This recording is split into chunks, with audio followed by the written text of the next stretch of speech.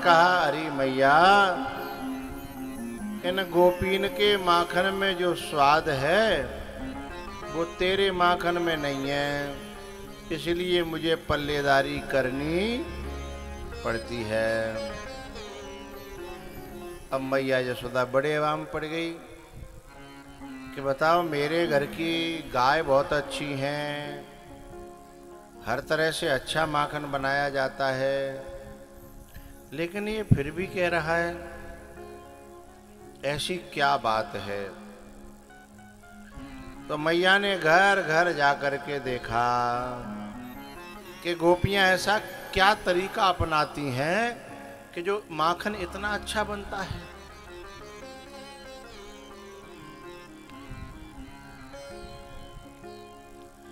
ये सत्यनारायण की कथा की जो पंजीरी होती है ना अब उस स्वाद को कोई हलवाई नहीं ला सकता। पंजीरी का जो स्वाद होता है, सबने खाई होगी। और बेईमानी करके क्यों खाई होगी? है? तो वो जो स्वाद होता है, वो कब हलवाई थे कहो कि भैया जैसा स्वाद लाए दे। ऐसा स्वाद जो है काऊ हलवाई की दम नहीं है कि ला सके।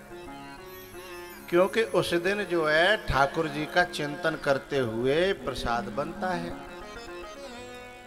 आज हमारे यहाँ सत्यनारायण जी की कथा होगी, है? आज हवन होगा, यज्ञ होगा छोटा सा। पूरे दिन भगवान का चिंतन होता है। तो मैया यशोदा ने कोशिश करी कि देखूँ घर घर काहे रोए तो घर घर में जाकर के क्या देखा? कि हर गोपी यानि यानि गीतानि। तद्बालचरितानि च। यानि यानि ह गीतानि।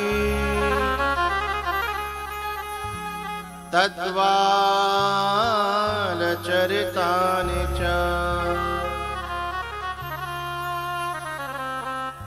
तेरी मैया हो। मसालों तो सब बाज़ार को ही है, लेकिन कोई मैया उन्हीं मसालों से बहुत सुंदर, स्वादिष्ट भोजन बनाती है। और कोई कोई उन्हीं से ऐसा भोजन बना देती है कि आदमी को मुँह पजर जाए, मिर्चन के मारे, मसाले के मारे, और मुँह पजरे तहाँ तक कोई ज़्यादा बड़ी बात ना है मुँह में लगाओ तो मुँह पजरे पेट में डालो तो पेट पजरे। और दूसरे दिन सवेरे सवेरे तो भगवान ही मालिक है, कहाँ कहाँ जो है। अच्छा आप लोग समझदार हुआ तो है? समझ जाता।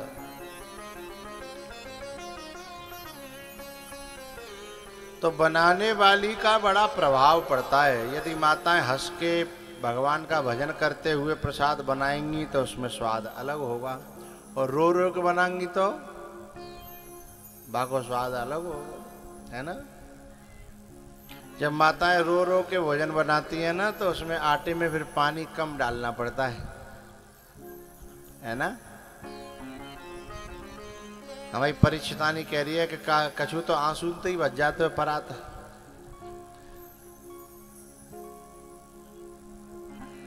पर भैया, आँसू ते भर जाता तो कोई बात ना है। ये नियम है कि जब गंगा बहेगी और जमुना बहेगी तो बीच की सरस्वती टपकेगी। भाई, कितने रोको। मुझे कहते हैं कि मैं पीछे कैसे रह जाऊँ? है? तो बनाने वाली का बड़ा प्रभाव पड़ता है भोजन के ऊपर। मैया यशोदा ने देखा कि भगवान का भजन करते हुए सारे कर्म कर रही हैं। अच्छा भगवान को भजन करते करते भाई कर्म करोगे तो कर्म क्या बन जाएगा? भजन।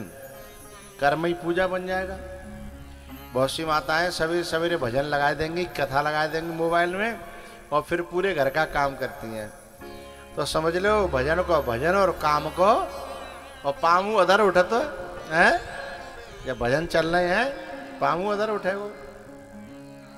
और बहुत सी कुछ वैसी होते हैं, मोबाइल तो चलाए नहीं, भजन तो चलाए नहीं। सवेरे जगत खेम गारी। हैं? बोले, कौने देते हैं? बोले, बालकन ने। बोले काउ काउ के बालक ना होते तो बोले आदमी है। बोले आदमी नहीं हो तो? बोले जिन्हें देनी है बिना को, कोई कमी ना है वो तो भैंस भोय नहीं देते रहते। हैं? जिन्हें देनी है गाड़ी मैंने को कमी तो रही है। एक बार मैं एक गाँव में रुके कथा पहले मैं गाँव में जैसे जहाँ कथा होती वही गाँव में रुक जाता था। गाँव में रुके तो बगल में एक मैया जो है, रोज सवेरे जगत घेम गारी देव करे। और देव करे कौन है? भैंस है। और अटपटी गारी दे, मैंने कितना पूछी, मैंने भैया जी, भैंस तो गाड़ी सुन रही है कि समझ रही है? ए बोले, बाबा, तुम का जानो? जो जा सुननी चाहिए या समझनी चाहिए, वो सब समझ रही है।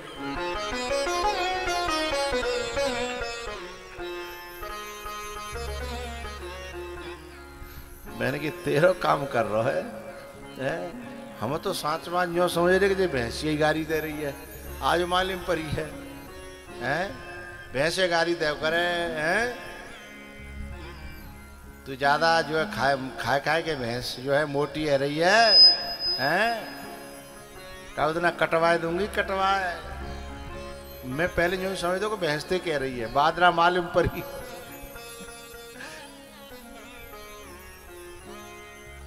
तो जिन्हें गाड़ी देनी है मैंने के लिए तो भैया पचास उपाय हैं है ना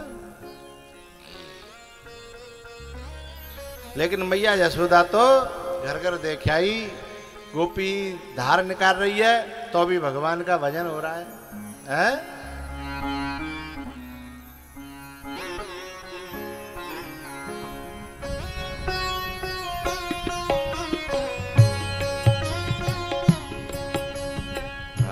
श्वास में हो सुमिरन तेरा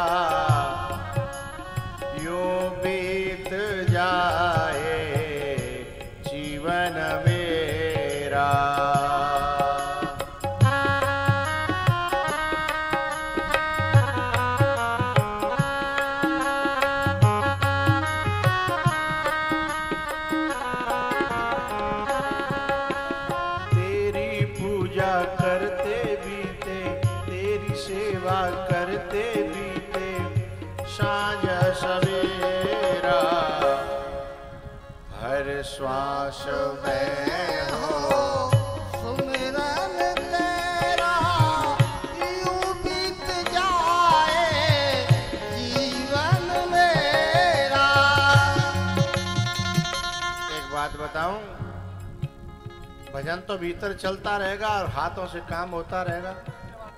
जरा मुझे देखना, नेक देर में गोपी समझो और समझना कि मैं काम भी कर रही हूँ और भगवान का भजन भी हो रहा है। हर श्वास में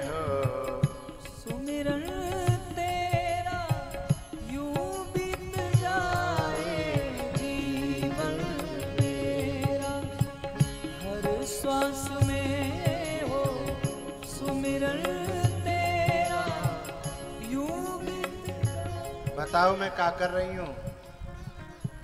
दूध निकाल रही हूँ? काय को, ऊँटनी को?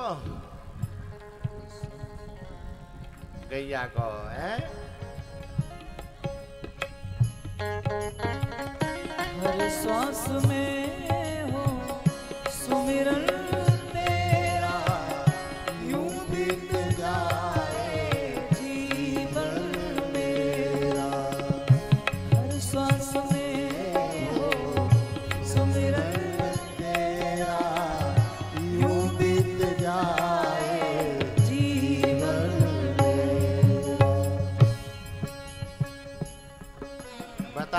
बताओ रही मैं का कर रही।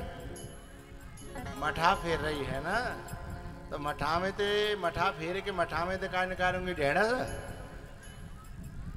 अरे बाबरियो मठा तो बनेगा, फिर फिरावी के। तो का फेर रही? हूँ दही फेर रही हूँ, है ना? फिर बा में ते का निकालो माखन हो। हाँ सब समझ रही हो। अब के बताना।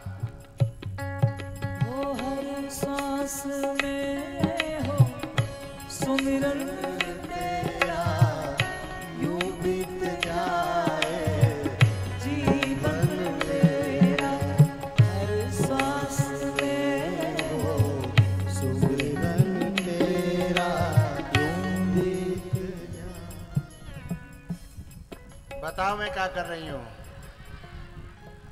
अच्छा। चून पीस रही हूँ ना? चून पीस रही हूँ?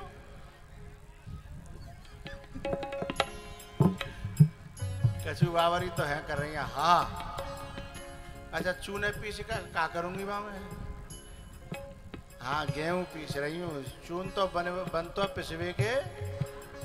जब बाद विषयरा में सब लोग बावरी से लगाते हैं मुझे घर पे गेहूँ ले जाएँगे और का कहेंगे?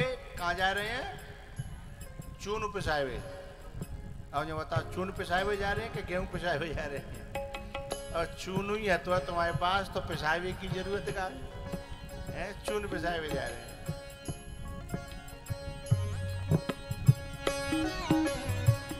हर सांस में हो सुमिरन तेरा, यूँ बीत जाए।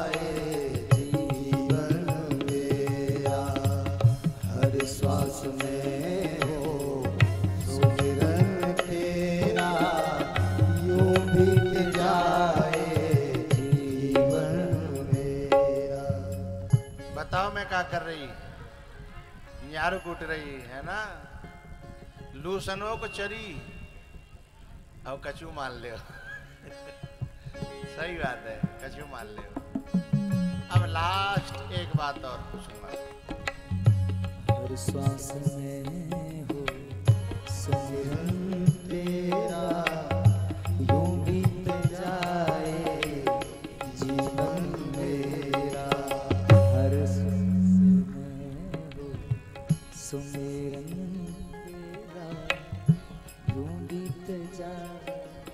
अब बताओ मैं क्या कर रही?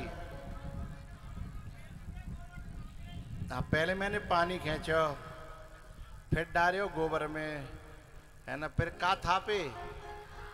कंडा? हम बे कंडा ने थाप के जलेबी बनाऊंगू। हाँ गोबर थापेंगे, तब कंडा बनेंगे। और जो सब बावरी मुझे कह रही कंडा थापे। गोबर थपा, थपता है, तब बनते हैं कंडा। अब एक बार मन से मेरे साथ तालियाँ बजाएँगे, मेरी तरह। हरि बोल।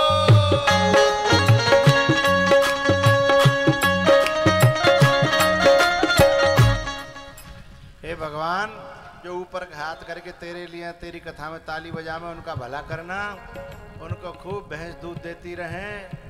भगवान उनको भलो करे और जो नई वजह में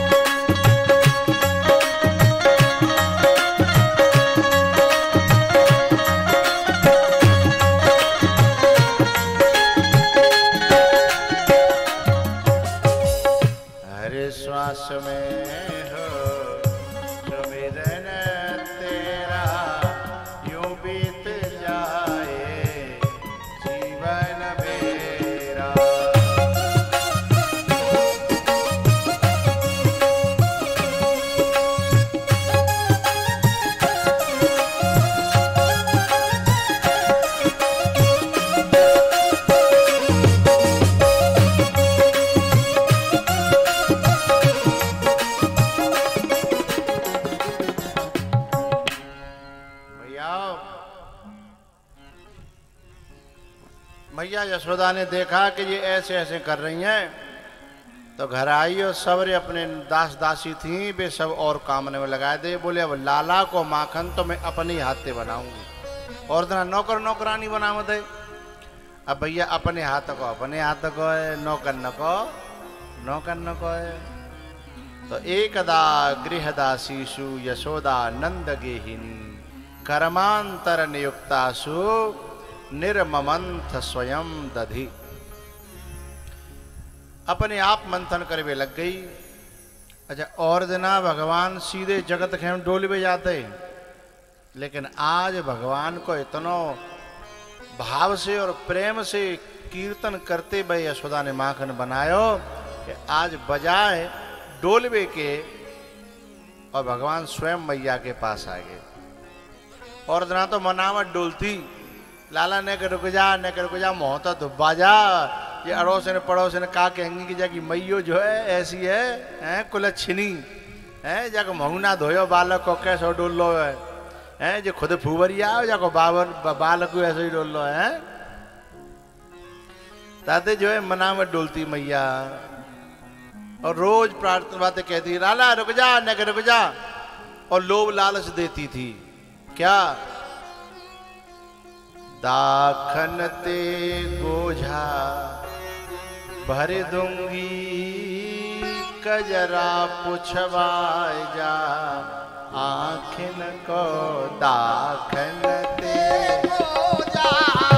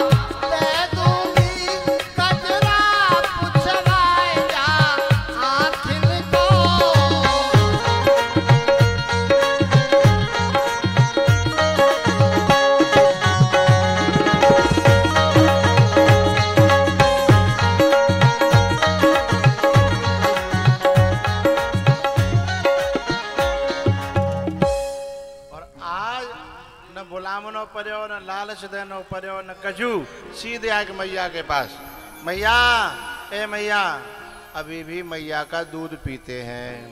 पहले माताएँ कई कई साल तक बच्चों को अपना ही दूध पिलाती थी। और अब बात अलग है गई है। अब क्या उन्हें अपने शरीर की ज़्यादा चिंता है? हैं? लेकिन पहले माताएँ, अब पहले माताएँ तीन तीन साल तक बच्चों को दूध पिलाती थी। ढाई साल, तीन साल। तीन साल ते ऊपर मोह पता होना है हो सकते कछु ऐसी हो जिन्हें तीन साल से ज़्यादा अपने बालकन दूध पियायो हो। कोई हत्या एकाद ऐसी जाने अपने बालक के तीन साल से ज़्यादा अपनो दूध पियायो हो। अरे क्यों निकल आई भैया? ठीक है, बहुत बढ़िया। क्योंकि जब कभी मैदान में युद्ध की में ज़रूरत पड़ती है तो यूँ ना कहते आ जाते हैं भैंस को दूध पियो हो तो। है ना? क्या कहता है? माँ को दूध पियो हो तो आजा मैदान में। लाला बोलो अरे मैया, ने कहा मुझे दूध पिया दे। अब मैया ने अभी वो शुरू ही करो धर्रा का मार रखा, धर्रा का मार रखा। जाड़े के दिन आए, अब मैया ने सोची कि हवाल बंद करती हूँ तो फिर जी ठंडो हो जाएगो, दोबारा जाम, फिर पानी मिलानो पड़ेगो, देनो पड़ेगो। कैसो पानी देंगे? गरम। और गर्मी न में? अच्छा चौमासे में?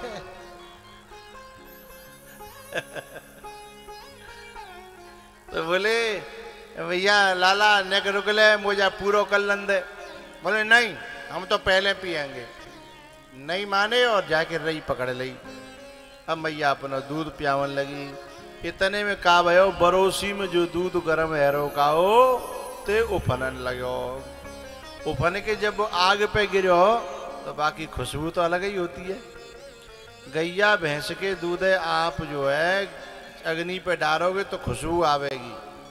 और थैलिया के दूध है जो आम का है बाज़ार में, बाय तुम आग पे डाल के देखियो बामे तो खुशबू नहीं आवेगी। चलो दूध हो तो लेकिन कछु लोग भैया प्याय के बालक नहीं जो समझ रहे हैं कि वो जो है पहलवान कर देंगे, हैं? दूध की जैसे खुशबू आई सो मैया ने एकदम हड़बड़ाहट में वह दूध बचावे के लिए लाला जल्दी ते पटक्यो और दूध बचावे चली गई। अब जा बात है, दही देखनो है, दही देखनो है, हैं? तो जितने वो दूध के, दही के और माखन के मटा, मटका धरे ना तो लाला ने लेके धाड़ धाड़ धाड़ धाड़। पूरे आँगन में जो है फैल गो और उधर से एक है बचावे गई, चार बिगड़ गए, हैं? कभी कभी ऐसा ही होता है जीवन में, भगवान के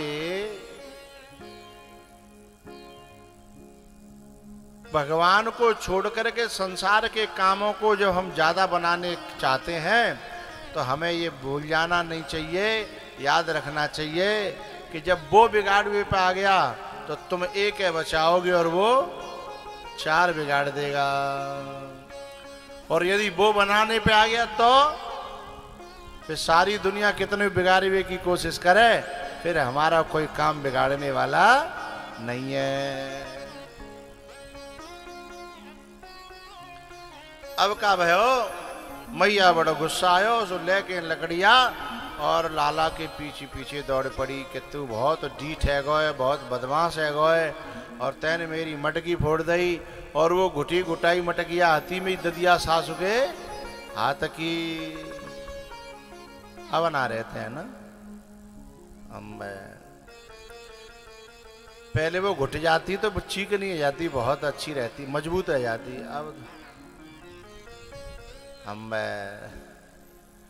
ये अब की बहू तो आगे बढ़ावे लायक है। हैं? अब जे तो का कहते हैं, वो कुकर आ गए, कूकर।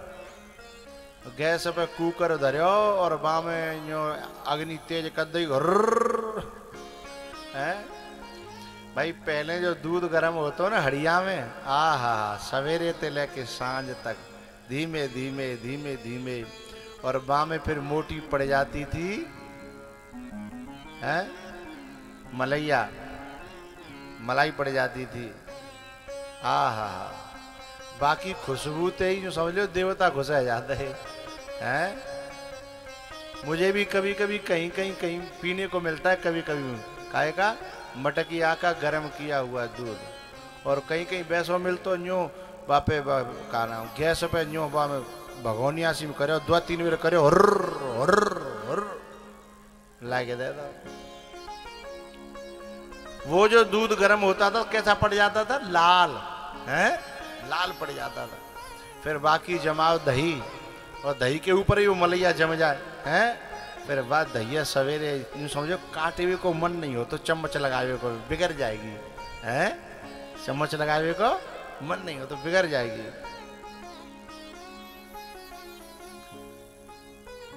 तो भगवान ने ये सब जो है ना फैलाए दो। मैया लकड़िया लेके पीछे पड़ी के तैन मेरो सब नुकसान कर दो। बहुत दौड़ी मैया, लेकिन लाला हाथ नहीं आयो, फिर थक के बैठ गई। तब स्वयं फिर भगवान आए। भगवान ये कहना चाहते हैं कि अपने बल पे कोई पकड़ेगा तो मैं कबू हाथ ना आनो, लेकिन थक जाएगा और मेरे भरोसे बैठ जाएगा तो फिर मैं अपने आप आ जाऊँगा। बुलाने की भी ज़रूरत नहीं। मैया ने उखल से बाँध दिया। उखल से बाँध करके मैया अपने काम में लग गई और कह दई कि सुने, आज तो पूरे दिन कछु नहीं मिलेगा, न रोटी, न पानी। माखन तो बहुत दूर की बात है तो ये कछु नहीं मिलेगा। अब भूखे प्यासे भगवान बंधे हैं। भगवान ने सोची कि भैया बैठे थे, बेगार बलीला को जो काम वैसे कर ले, बंधे बंधे को। तो बाग यशोदा के आँगन में दो पेट ठाड़े।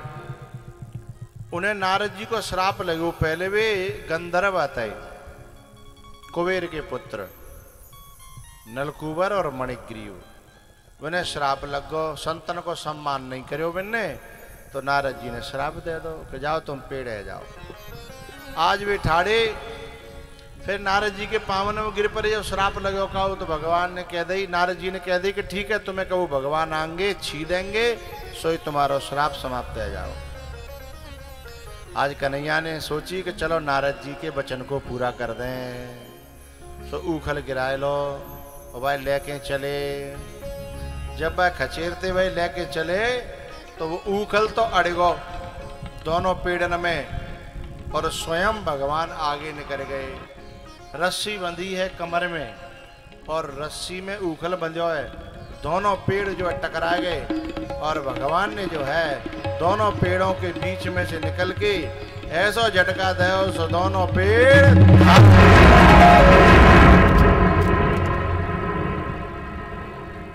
बोलो गिरिराज महाराज की। ज़ोर से बोलो, गिरिराज महाराज की। दोनों पेड़ गिर पड़े। अब दोनों पीड़न में ते वे दोनों श्राप मुक्त भये गंधर्व। जब स्तुति करन लगे भगवान की, वाणी गुणानुकथने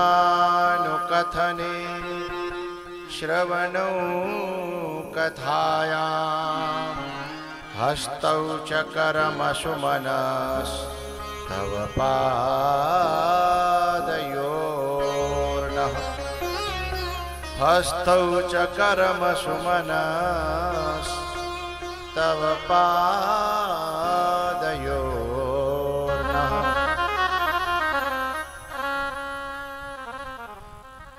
उन्होंने कहा, प्रभु, ऐसा आशीर्वाद देना कि अब हम जन्म लें तो बस वाणी से केवल तुम्हारे भजन गा में कीर्तन करें, माला जप करें।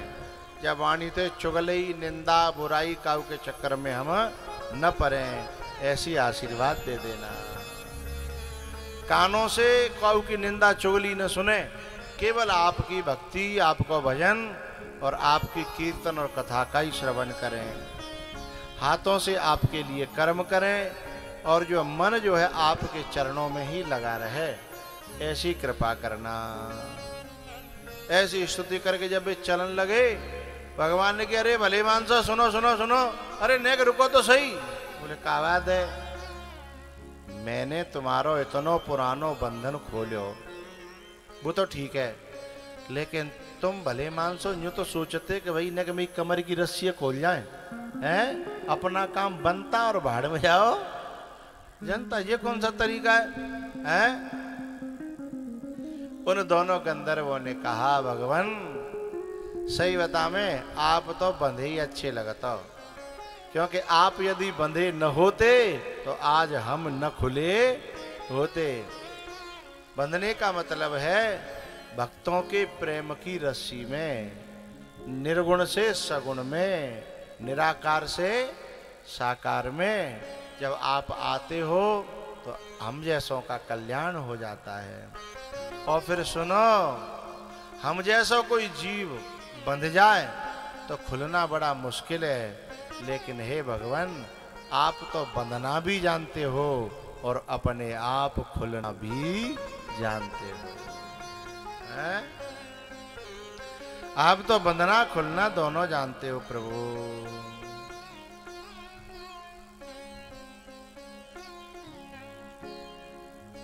एक दिन क्या हुआ भैया?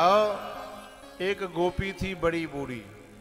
बाके जहाँ भगवान गए, बोले, मौसी ओ मौसी बोले हाँ बोले हमें सारी दुनिया नौता करके ग्वालों को जिमाती है तैने आज तक हमते कब ना कही बोले लाला मैंने कब नहीं करी है ते मनो है तो बता कब को नौता कर दूँ तेरो बोले परसों पूर्णवासी सत्यनारायण की कथा होगी तू आ जाना बोले अकेलो आ जाऊँ कि ग्वाल वालों के संग बोले संग आ जाइयो बोले कै बजे आ जाऊँ बोले लाला बारह एक तो बज जागो बोले, नहीं नहीं, बारह एक बजे तक तो हम भूखे मर जाएँगे। हमें चाहिए सवेरे आठ बजे। बोले, नहीं लाला, आठ बजे तो कैसे नहीं बन पावेगी बारह एक बजे आएगी। आखिर कोई निर्णय नहीं है पायो और बारह एक बजे की बजाय सवेरे आठ बजे आए आएगा सवेरे आठ बजे आए के हैं। बोले, मौसी मौसी, बोले हाँ भूख लग रही है तेन नौता करो बोले, लाला, अभी तो पहलो पूरी पूरी न को घना, मैंने कढ़ैया में डालो है अभी तो कैसे दे दूँ, ठाकुर जी को भोग ना लगे हो। अरे मौसी, आज मुझे ठाकुर जी मान ले, बोले, हमें नंग दड़ंगे से, है? तो ठाकुर जी मान लो तो नाक पहुँचे, वो आमत ना है, हैं? तू ठाकुर जी है? अरे मौसी, कहा थे ठाकुर जी? बोले, पंडित जी आए कल, अंदर धरे गए चौकी पे। बोले अच्छा ठीक है। पीछे ते गए, खिड़की में घुस गए। वो जो गोपी थी, बाकी पीछे गोपी को बिटोरा धरियो। बिटोरा तो जानते ही होंगे। तो बिटोरा में माता क्या करती हैं? सर्दी के दिना में कंडा निकाल निकाले के बाद खाली कर लेते वहाँ में कुतिया भी आ जाते हैं। क्योंकि वहाँ में रहते हैं गर्मी। सर्दी के दिना में वहाँ में गर्मी भवका रहते तो वहाँ में कुतिया भी आई थी तो भगवान ने दो पिल्ला पकड़ के और जाके बाकी चौकी पे तो ठाकुर जी हटा ले और पिल्ला दरियाए और आके सामने थे फिर बोले, गोपी, चौकी पे तो देख आते ठाकुर जी भूखे रो रहे हैं हैं? तन कितनी देर कर दी है? अब गोपी तो मन में सोच रही कि वो तो ठाकुर जी तो पीतर के हैं बे कहाँ रोवन लगे। हैं? बोले, ना ना, लाला, हमारे ठाकुर जी ऐसे ना, ऐसे रो में। बोले, ठाकुर, मेरी बात मान ले, वो गोपी पछतावे आज ते ठाकुर जी रो रहे हैं। तो भाई, लाला खुश कर वे के ले बोली, ठीक है, ला, देख मत हूँ और जैसे वो भीतर गई तो चौकी पे थे पीतर के ठाकुर जी गायब और पिल्ला कू कू कू कू कू कर रहे अब तो बड़ी गुस्सा भई। बोले तैने भी चौकी बिगाड़ दी और पंडित जी आएँगे, नाराज़ है जाएँगे। बहुत गुस्सा भई। भगवान चले गए। लेकिन फिर आए बारह एक बजे। गोपी, हम भूखे हैं, ग्वाल वालन के संग आयो बोले वैसे त्यो मोहता उतना खवाए हुए लायक। तेने आज मैं परेशान कर दई हूँ। पर चल, मैंने आज बचन दयो है तो मैं तो खवाऊँगी। बैठ जाओ दगरी में, लाइन पे बैठ जाओ। पहले जमानो कितना अच्छा हो कि जो है, जब दावत होती थी ना, है? है दगरी में बैठ जाते। अपनी चप्पल अपनैया उतारी, बनई पे बैठ गए। है ना, चोरी को डर, न चकोरी को। है? झंझट खत्म। जवानी सब परस दे। पूरी कचौरी, साग। भगवान से बोली के, करो शुरू। तो ग्वाल वाल जैसे शुरू करने लगे तो भगवान बोले रुको रुको रुको रुको। बोले का है गो अरे बोले, पहले शुरू करिए थे, पहले या गोपी कम से कम आशीर्वाद तो दे ग्वाल वाले बोले, भैया जी, हम पे दे ना आओ तो हमारी तरफ़ तो तू दे दे। बोले, आओ। भगवान बोले, हे भगवान, हे परमात्मा, जा पूरे ब्रज पे, जा गोपी के घर पे, जा वृंदावन पे, ऐसी बीजरी परे ऐसी बीजरी परे तो सबको सू पड़ा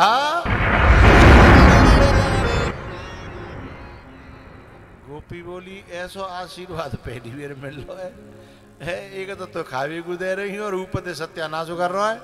हैं? अच्छा चल यूँ बता तू मेरो करे तो कोई बात ना है मेरी कोई दुश्मनी मान ले। या कहूँ और अपने दुश्मन को करे। तू जो पूरे ब्रज को सत्यानाश कर रहा है पूरे वृंदावन को क्या वृंदावन ने तेरो का बिगाड़ो अच्छा जो बता जब वृंदावन पे पूरे पे बिजली पड़ेगी तो तू कहाँ बच जाएगो? मरेगा कि नहीं मरेगा? बोले बिल्कुल नहीं मरूंगो। बोले, क्यों? अच्छा भयो, ऐसा कि भूल चूक में वो गोपी पसत पसत बा, लाला की पत्थर पे एक चीज़ नहीं पहुँची। बा को नामो खीर। जनका चक्कर पर को बेचारी बड़ी बूढ़ी थी, भूल गई। सबने सब चीज़ें पश्य नहीं लेकिन बा पे खीर नहीं पहुँची। सो लाला बोलो कि मुँह पे बीजरी नहीं पड़ेगी। बिल्कुल बोले, क्यों? अरे मौसी जब मैं खीर में ते बच जाऊंगो तो बीजरी पे ते बच जाऊंगो। जब गोपी बोली बावरे तू वैसे ही मुँह ते कह दे कि मुँह पे खीर ना पहुँची। है? इतना बड़ा बमंडर बनावे की? क्या ज़रूरत है, है? ऐसो चटक मटक को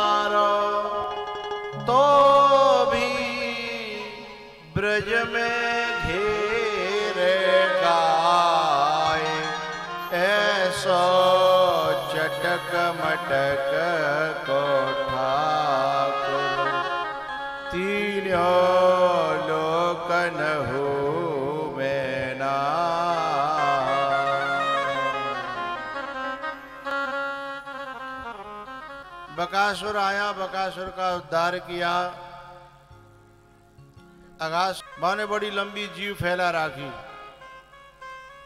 सब ग्वाल वाल अपना अपना टोसा लेके गए। टोसा जानते हो? बगल में टोसा किसका? भरोसा। सभी ग्वाल वाल अपना अपना टोसा लेके गए। अजगर को देख करके बोले, भैया जी थे गुफा आ गई रात रात में। चलो देख यहाँ भगवान नाई कर रहे के जामे मत घुसो अगम अगासुर माने होता है पाप। और पाप में आदमी जब घुसता है तो भगवान मना करते हैं। गुरु मना करते हैं, लेकिन ये जीव मानता नहीं है। अंदर चले गए। फिर अंदर जब आने, सांस बंद करी और घुटन लगे, तब भगवान को पुकार्यो और भगवान ने अगासुर को मार करके उनको बचाया। सब जने बैठ करके और फिर अपनी अपनी टोकरी निकाल के, टोकरी तो नहीं आती बा जमाने में, पहले वो चलता है छन्ना। छन्ना जानते हो? बात में स्वाफी आती लाल लाल। बिल्कुल छलनी जैसी है ना? तो बिन में रोटी बाँध के खेत पे जाओ करते हैं? छन्ना। तो अपने अपने छन्ना में बाँध के और वे ले गए टोसा तो सब अपना अपना पायरे। आज जो है, एक पंडितानी को, बालक हो मधुमंगल, वो पीछे रह गो वो कड़ी लेके आयो कूलरी में भर के गरीब है तो। सुबह ने देखी कि सब खावन लगे अब बीच में बिगंडारे में फ़ायदा का है, अपन ही ला, अपन ही कड़ी ते पी ले, अपन कड़ी है सुबह के पेड़ की ओट है कि पियन लगे हो लेकिन भगवान को पहलो कौर जैसे ही ले भगवान ने भगवान ने याद आई कि आज हमारा मधमंगल कहाँ है? सो चारों तरफ़ निगाह फेरी से एक जनो बोलो देख पेड़ की आड़ में कोई दिख रहा है। बोले, रुको बाद में खाएँगे, जाए देखें पहले। सो मधमंगल ने देखी कि जो अपन ले गए खाया है? और अब मेरी मटकी मेरी कड़ी पी जाएँगे? तो वहाँ जल्दी घटक घटक घटक घटक करे कि कजू फैलाई, कजू पी, कजू मुँह बिगाड़ लो। है, जैसे जब तक ये आए, तब तक फेंक के फिर ही आएगा। मधुमंगल तू रोज हमारे में तो खा ले तो हमने कबू नाई नहीं करी। आज तू पहली बार तो लायो और अपने सवरे कड़ी पीगो। लेकिन हम कमे ना आए, हम तेरी कड़ी चाह के बिना नहीं रहेंगे। एक वाले वालो, ये सब ठीपुरी पर ही है ना, कड़ी की सनी भाई सवन उठाओ सवन चाटो। चाक के देखो कैसे हो जाओ कड़ी। सो सबने उठाए उठा के जब लई तो सवन के बट में एक एक आएगी एक जना बोले लाला तो क्यों ना बची बोले, मेरी चिंता मत करो, मुक आई तो जाके मुँह पे मुको तो चुपट्यो।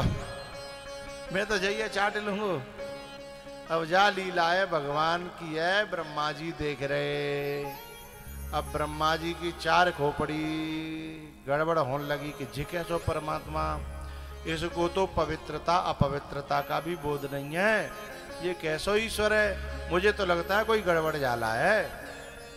परीक्षा करने के लिए ब्रह्मा जी ने भगवान के बछड़ा और ग्वालवाल दोनों चुराए ले। भगवान जी समझ गए कि अच्छा तेरी खोपड़ी खराब है गई मेरी लीला देख। के ठीक है तो बड़े भले बड़, भले भवन अब बायन दीना पाव हो गए फल आपन कीना। भगवान पहले ही ब्रह्मलोक पहुँच गए। ब्रह्मलोक में ब्रह्मा जी के घुसबे थे पहले, ब्रह्मा जी को भेष बना लो भगवान ने, और सवंत द्वार पालन से कह दी कि आज कल नकली ब्रह्मा बहुत घूम रहे हैं, कोई मोती पीछे आवे तो पहले खूह तो मराई करियो। मोती आज्ञा लेने की ज़रूरत नहीं है, पहले खूह ठुकाई करियो, बाद में पास लिए हाओ कौन कह रहे हैं? ब्रह्मा जी, नकली भाई का असली भाई खुद नकली है। और कह कह रहे हैं कि मोते पीछे कोई नकली बगली ब्रह्मा आवे तो खूब ढुकाई करियो। अंदर घुस गए। अब पीछे थे आए ब्रह्मा जी। कौन से भाई? हैं? असली। सोई द्वारपालों ने भाले लगा दिए, बोले, ए, टाड़ी वाले, ब्रह्मा जी देखने लगे, जी, मेरे नौकर मोते, हैं? बोले, तुम्हारी खोपड़ी खराब है, गई है। तुम्हें पता नहीं मैं ब्रह्मा हूँ। तो नौकर बोले तो जैसे नकली ब्रह्मा बहुत देखे हैं हैं? हम कछु कहना रहे। पीछे लौटो। ब्रह्मा जी ने कही पता नहीं यही खोपड़ी का आएगा जिन्हें की है? तो सोचेगा दूसरे द्वार में है कि चले, जिन्हें अंदर बुलाएँगे, तब जिन्हें खबर लेंगे। सो दूसरे द्वार में है कि ब्रह्मा जी जावे वारे हते बा में द्वारपाल जो हतकाए, वो बाद विषहरा के हते। और बाद विषहरा के लोग लड़वे में न पहने ही रहता है। हैं? सो बिन ने सोची कि आज बढ़िया मौका हाथ सरे निकल लेने का। बहुत दिन आते जंग सी लगी है कछु है मौका ना मिल पायो। तो जैसे ही ब्रह्मा जी आए सब बिन नहीं पूछी जो बिन ने पकड़ के और दे और दे दे। ब्रह्मा जी पूछ रहे मार चौरे न्यो तो बताए तो जैसे नकली बात देखे हैं। तब ब्रह्मा जी ने कही, न्यू बता भैया, मैं नकली हूँ तो असली कहाँ है? बोले, चलो अंदर, दिखाएँ। तो अंदर ले गए। अब अंदर ले गए तो ब्रह्मा जी को तो कन्हैया दिखे और सभी को ब्रह्मा जी दिखे। सोई ब्रह्मा जी समझ गए कि भगवान मुँह पे गलती है गई। सोई पामन में ब्रह्मा जी गिर पड़े। द्वारपाल बोले, देखो, हथवा नकली मन में। हैं, हम तो पहले कह रहे नकली है, गिर पड़े ब्रह्मा जी ने ठाकुर जी की स्तुति करी। और कहा, अब ऐसी गलती कभी नहीं होगी। भगवान ने कहा तो ठीक है, अपनी गद्दी समारो हम तो जा रहे हैं। अब जैसे ही जे जान लगे और बेगद्दी पे बैठाने लगे तो द्वारपाल अपना मूड खुजान लगे कि, जिका भय हो। तो पावन ते लिपट गए, भगवान के बोले, प्रभु हमाव का होगो? चूँकि जी जी गद्दी पे बैठ गए तो फिर हमाव का होगो? हमने बहुत मारे हैं। हमारी तो कछु कह जाओ। तब भगवान ने ब्रह्मा जी से कही कि सुनो, वो सब मेरी इच्छा से हुआ था। उसमें इन द्वारपालों का कोई दोष, इनसे कुछ कहना नहीं। तब ब्रह्मा जी बोलेंगे, कहूँगा तो कुछ नहीं, पर जिन्हें द्वार पे थे हटानो पर है वो जब निगाह पड़ी तब याद बहुत आवे कि बहुत मारे हो। है? तो खून तो पजरेगा ना। तो ऐसी जगह ड्यूटी लगानी पड़ेगी कि मैं आँख ने क्या गा रहा अरे मैं कम से कम यूँ कह रहा हूँ कि मेरी सुन तो लियो भैया, सुन तो लियो। मेरी सुनी नहीं रहे, हैं?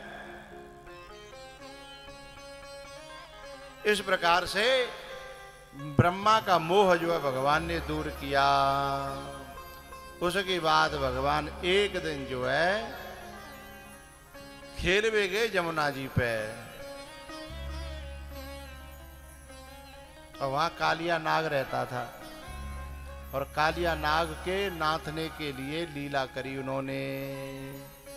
अरे मारियो टोलो गई दह में।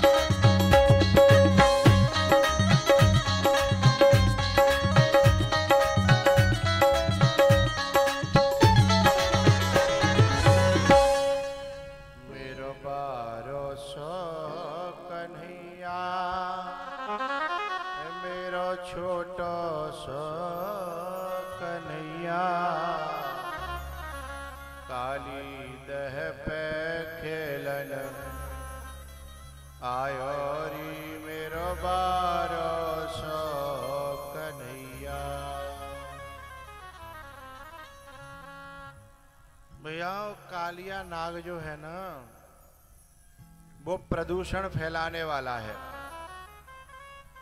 और भगवान जो कोई प्रदूषण फैलाता है, उसके फन को एक दिन कुचल देते हैं।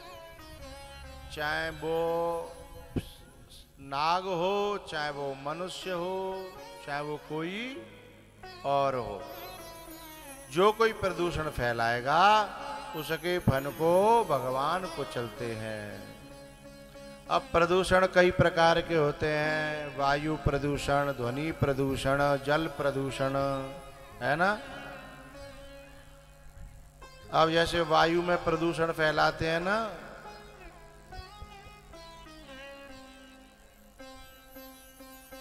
जो लोग बीड़ी पीते हैं, वो वायु में प्रदूषण फैलाते हैं। धुआँ का और कुछ लोग जल में गंदगी फेंक देते हैं, जल प्रदूषण फैलाते हैं।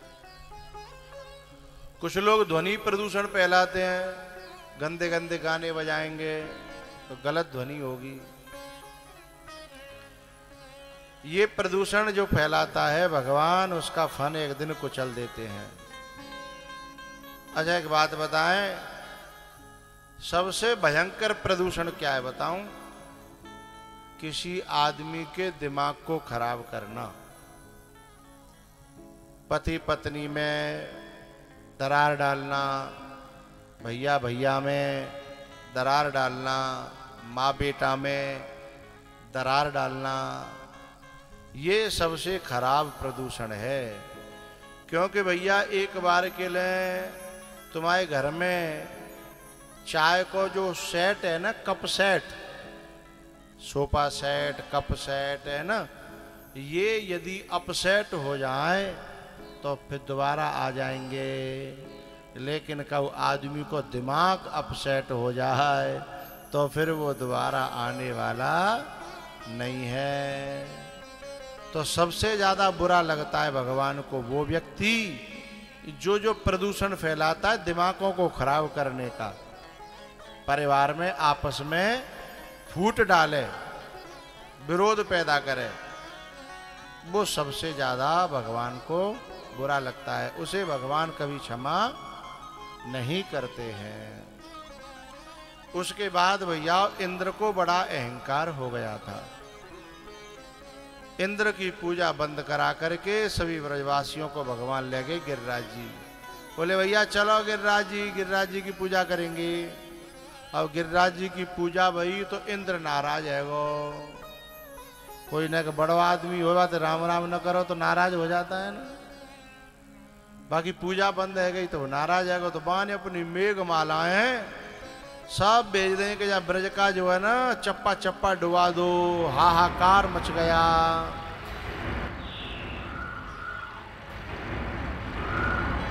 लेकिन भगवान ने क्या किया? गिरिराज जी को उठा करके अपनी उंगली पे धारण कर लिया। सात दिना तक गिरिराज जी को ऊपर करके उसके नीचे ब्रजवासी रहे। जब इंद्र थक थका के वहाँ पे पानी नहीं रहे हो मेघन पे तो फिर आगे पावन में गिर पड़ो। क्षमा करना प्रभु, क्षमा करना, मुँह पे गलती है गई। तब इंद्र को जो है क्षमा किया है। फिर गिरिराज जी को नीचे रख करके फिर सब लोगों ने भोग लगाया, परिक्रमा लगाई, मानसी गंगा प्रकट करके जल पिलाया है। गिरिराज जी की परिक्रमा तो लगभग सवन्य दई होगी। किस किस ने परिक्रमा लगाई, हाथ खड़े करना?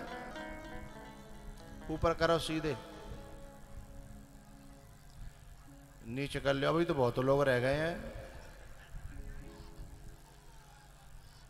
अस्सी परसेंट लोगों ने परिक्रमा लगाई है। बीस परसेंट रह गए कहा बिनते मेरी प्रार्थना है, बगल में खारी नदी है। भारत में जन्म लेके और गिरिराज जी के बिल्कुल कनपटी पे। और तो परिक्रमा नहीं लगाए पाए तो कहू बाहर कुआ में जाएँगे तू डूबे के मर जा रे। चुल्लू भर पानी में तू डूबे के मर जा रे। चुल्लू भर पानी। जब गिरिराज जी की परिक्रमा देवे जाओ करो तो तलेठी की परिक्रमा लगाओ करो। है? जिसमें जो है रज है संतों के चरणों की, भगवान के चरणों की। कच्चे में भगवान की गोवर्धन महाराज की शिलाओं के दर्शन करते हुए और जब परिक्रमा लगाओ संतन से मिलो, हैं? महापुरुषों के दर्शन करो, उनके प्रवचन सुनो और राधे राधे करते हुए परिक्रमा लगाओ। ऐसे नहीं है कि परिक्रमा में जाके फ़ोन चालू कर लो, हैं? और घर पे लगे हैं, दे दनादन दे दनादन। परिक्रमा चल रही है। क्या फ़ायदा भयो है? तन, वाए और मन, है? मन घर पे धरो है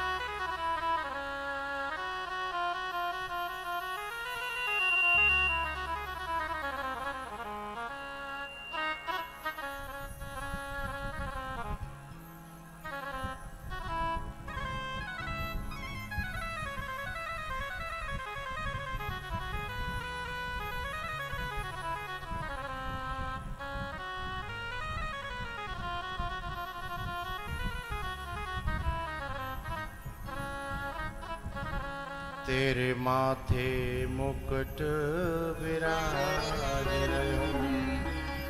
श्री गोवर्धन महाराज।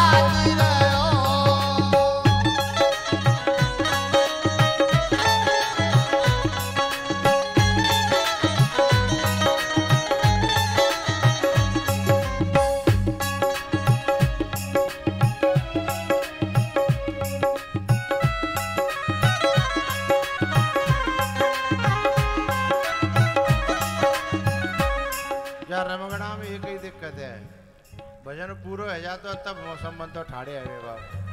हैं?